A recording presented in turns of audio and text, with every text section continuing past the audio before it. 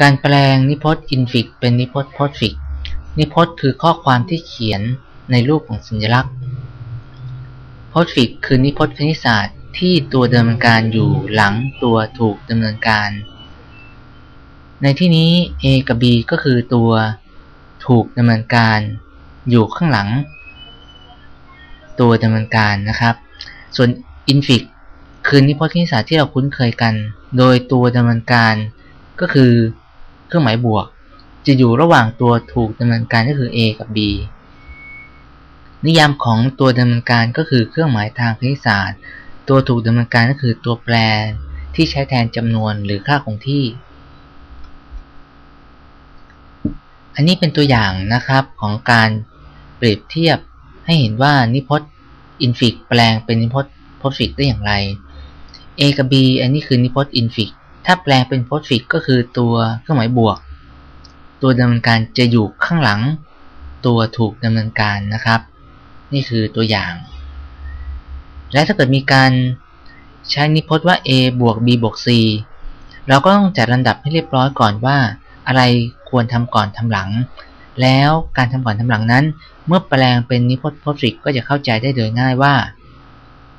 a กับ b จะมาก่อนนะครับ แล้วถูกดำเนินการโดย เครื่องหมายบวก เพราะว่า a กับ b เป็นตัวถูกดำเนินการและดำเนินการโดย เครื่องหมายบวก จากนั้นจากนั้นค่อยทำกับ c ครับ ตัวอย่างต่อมานะครับเห็นว่า a ทำกับ b แล้วค่อยทำกับ c แล้วค่อยทำกับ d นี่คือนิพจน์ทั่วไปทางคณิตศาสตร์ เราก็จะเอา a กับ b มาก่อนนะครับ แล้วตามด้วยเครื่องหมายบวก แล้วจากนั้นผลได้เท่าไหร่ ก็เอามาทำกับ c แล้วตามด้วยเครื่องหมายบวก จะสังเกตว่าตัวถูกดำเนินการ อยู่ข้างหลังนะครับ เช่นเดียวกันกับ a บวก b บวก c แต่ว่าในที่นี้ a กับ c จะต้องทำก่อน มาดูตัวอย่างว่าจะทำยังไง เมื่อ a กับ b มาถึงแล้วยังไม่มีเครื่องหมาย ตัวดำเนินการแต่อย่างใดนะครับ จะต้องมาทำ C พอได้ B กับ C มาเจอเครื่องหมายดำเนินการ 2 ตัวนี้จะดำเนินการก่อนนะครับ B กับ C แล้วค่อยเอาผลที่ได้ตรงนี้นะครับ มาทำกับ A ด้วยเครื่องหมายบวก แล้วทั้งหมดนี้ค่อยมาทำกับ D ด้วยเครื่องหมายบวกอีกครั้งหนึ่งนะครับคำถามว่าในตัวอย่างที่ 6 ผลลัพธ์จะเป็นอะไร ครับ เราก็สังเกตว่า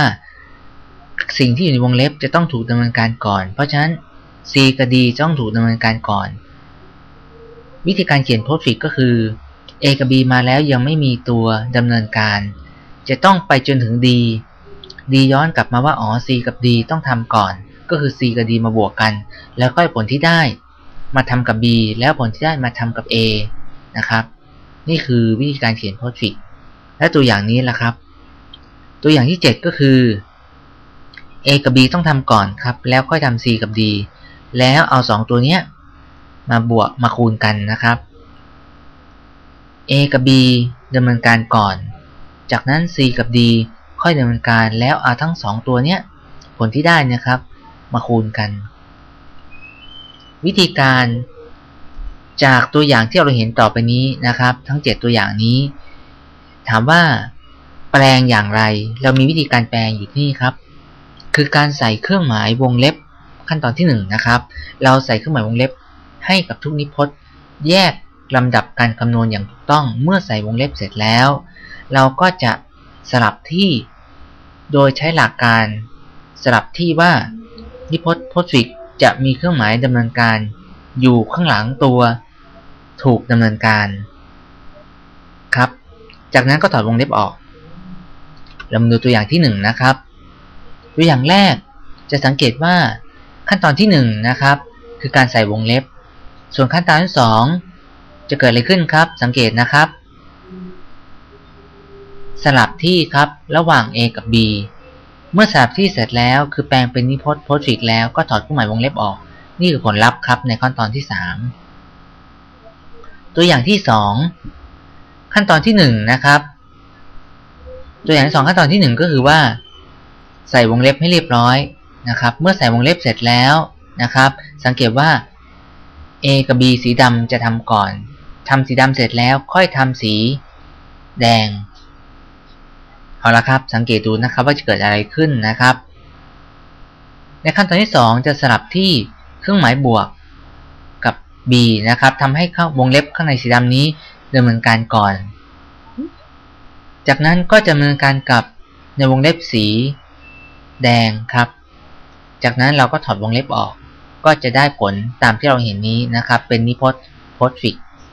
คือเครื่องหมายดำเนินการ ตัวดำเนินการเนี่ยนะครับ อยู่ข้างหลังตัวถูกดำเนินการ ตัวอย่างที่ 3 เราก็จะเอาโจทย์ที่เราได้ตรงนี้นะครับ มาใส่วงเล็บให้เรียบร้อย สังเกตว่าสีดำ จะทำก่อน ตามด้วยสีแดง แล้วตามด้วยสีน้ำเงิน เมื่อใส่วงเล็บเสร็จแล้วนี่คือเสร็จขั้นตอนที่ 1 ขั้นตอนที่ 2 ครับ สังเกตวิธีการสลับที่นะครับ เราจะสลับที่ในวงเล็บสีดำก่อนนะครับ ซึ่งเป็นวงเล็บข้างในสุด จากนั้นก็สลับที่เพื่อเป็นโพสต์ฟิกสำหรับสีแดงแล้วก็สลับที่สำหรับสีน้ำเงินเป็นเสร็จสิ้นขั้นตอนที่ 2 จากนั้นเราก็ถอดวงเล็บออกครับ ก็จบขั้นตอนของโพสฟิกในขั้นตอนของตัวอย่างที่ 3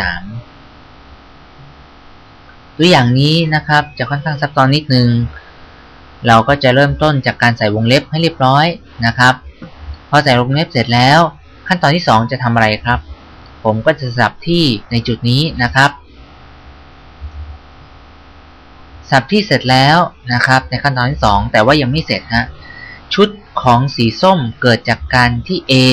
บวกกับทั้งหมดของ B นะครับ ผมจำเป็นต้องทำให้ก้อนสีดำนี้เคลื่อน ก็เลยเพิ่มขั้นตอนขึ้นมา สังเกตตรงนี้นะครับ ตรงขั้นตอนที่ 2 ของขั้นตอนที่ 2 ครับ ผมสลับที่ระหว่างเครื่องหมายวงเล็บสีดำทั้งหมด ซึ่งเป็นก้อนก้อนหนึ่งกระทำกับ A แล้วตัว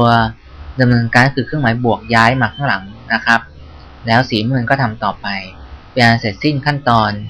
ของขั้นตอนที่2แล้วเราก็ถอดวงเล็บออก ก็จะได้ผลลัพธ์ที่ได้ สังเกตใช่ไหมครับว่าไม่ยาก จากนี้ผมก็ไม่สับที่เห็นแล้วนะครับเอาเป็นว่าทุกท่านคงพอสับที่ได้สำหรับตัวอย่างที่ 5 เราสังเกตเลยว่า มีการสับที่เรียบร้อยแล้วนะครับแล้วก็ได้ผลตามที่เราคาดไว้ ในตัวอย่างที่ 6 ก็เช่นกันนะครับ เราทำงานเฉพาะในวงเล็บสีดำก่อนนะครับ แล้วค่อยขยับขึ้นมาเป็นวงเล็บสีแดง แล้วก็ถอดวงเล็บทั้งหมดออกในขั้นตอนที่ 3 ตัวอย่างที่ 7 ก็เช่นเดียวกันนะครับ มีหมด 3 ขั้นตอนทบทวนกันว่า ขั้นตอนที่ 1 คือ การใส่วงเล็บนะครับ พอใส่วงเล็บเสร็จแล้ว เราก็จะสลับที่ในแต่ละวงเล็บ โดยเริ่มต้นจากวงเล็บที่จะทำการ คำนวณก่อน หรือวงเล็บที่อยู่ข้างในสุด แล้วก็ขยายออกมานะครับ แล้วสุดท้ายเราก็ได้ผลเป็นขั้นตอนที่ 3 คือการถอดวงเล็บครับ เสร็จสิ้นเรื่องของการแปลงจากนิพจน์ infix เป็นนิพจน์ postfix ด้วยขั้นตอนการสลับที่ครับ